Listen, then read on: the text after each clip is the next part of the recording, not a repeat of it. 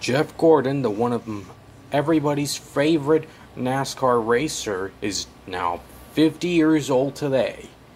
He drove the 24 car in the in the in, in, from the 90s and 2000s and 2010s.